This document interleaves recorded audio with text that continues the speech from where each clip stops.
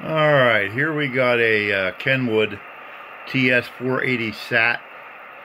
Uh, this comes with the microphone, power wire, and a separation kit, and a manual. Uh, and it comes with a box. And uh, it is in fair condition.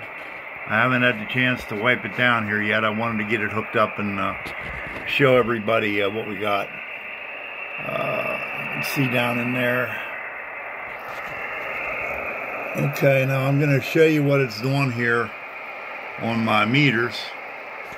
Um, it's set on uh, 28400 lower side and my meters are set on 200 watt PEP. Audio. 100 watts right on the money. And we're going to go to upper side. Audio.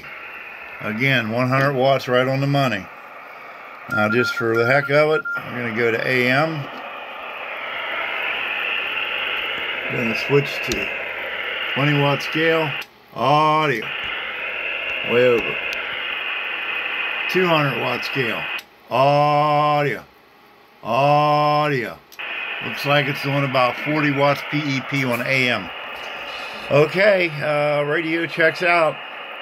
I don't see any modifications that's been done to it and seems to be functioning fine. So I'll get her cleaned up, take some photos of it, and get it listed for sale. Thanks for looking.